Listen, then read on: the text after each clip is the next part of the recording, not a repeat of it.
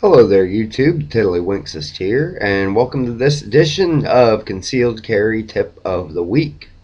My concealed carry tip of the week is get a quality belt that is appropriate for what gun you are carrying. Um, what I'm wearing right now is just a standard Blackhawk pistol belt. It has a little D-ring in the front. And it's just a standard black belt that is nylon and it has just enough strength to it. It's harder to bend. It has just enough strength to it to carry my Taurus TCP. This is the belt I use with my Taurus TCP. It's a very lightweight, easy belt to carry, and it works really well. If you try just a regular old Walmart leather belt for carry, you're going to be quite uncomfortable.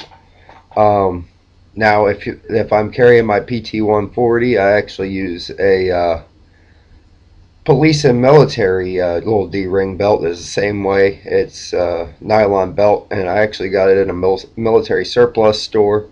It's a little thicker, um, harder to bend, and uh, basically what you want is a belt that's actually made for carrying a gun that is not going to let your pants fall down.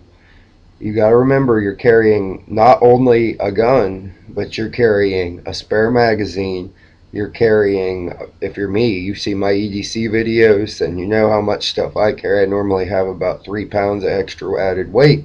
You want to make sure that your pants are going to stay up and not fall down around your ankles and not go ahead and show your gun because that would be horrible. So uh, make sure, quality belt. Um, cheaperthandirt.com has great deals on belts. Amazon.com has great deals on belts.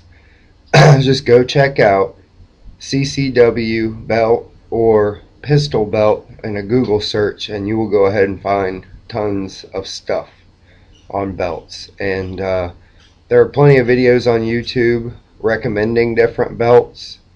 So I recommend looking around and seeing what you like best. Just make sure that you find a proper belt. The Galco leather belts are really really really good for inside and outside the waistband carry and they make them in different stiffnesses and uh, and different colors and they look like a dress belt but they'll probably last you a good 20 30 years. But anyway that's all I have. It's just a quick concealed carry tip. Thumbs up if you like it thumbs down if you don't.